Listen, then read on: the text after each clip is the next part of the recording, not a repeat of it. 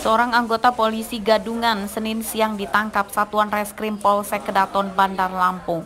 Pelaku diketahui bernama Darwin warga Kemiling Bandar Lampung. Polisi gadungan ini terpaksa ditembak di bagian kakinya karena berusaha kabur saat proses penangkapan berlangsung. Di TKB? TKB sama Kedaton. Modus pelaku yakni memasang foto depan atau foto profil di akun jejaring sosial dengan berseragam kepolisian.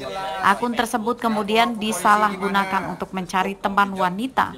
Setelah akrab dengan calon korbannya, dari berkenalan melalui jejaring sosial tersebut, diajak bertemu. Keakrabannya itu kemudian dimanfaatkan untuk membawa kabur sepeda motor korban. Rata-rata korban dari kejahatan modus polisi gadungan ini adalah wanita muda.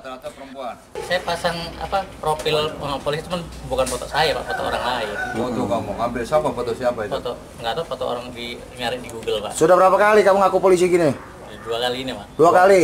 Yang ketahuan Ya, modusnya ngambil motor semua. minjem. Minjem pak. Pinjam motor kamu jual. Kabur. Kamu jual. Iya pak. Aksi polisi Darwin sebagai polisi gadungan ini terbongkar setelah dilaporkan oleh salah satu korbannya.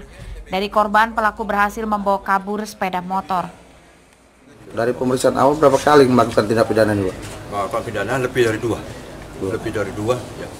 Ya terutama adalah dari Polsek eh, Tanjung Karang Barat, ya, dan Kedaton. Jadi mungkin dari masyarakat yang merasa kena tipu di untuk Bandar Lampung silakan cek untuk mencocokkan uh, TSK tersebut. Menurut catatan polisi, pelaku merupakan seorang residivis dengan kasus yang sama dan baru keluar penjara pada tahun 2015 lalu. Dari pelaku, polisi menyita satu unit motor korbannya. Untuk mempertanggungjawabkan perbuatannya, pelaku dijerat pasal tentang penipuan dan penggelapan, ancaman hukumannya 10 tahun penjara. Robi Laste melaporkan dari Bandar Lampung.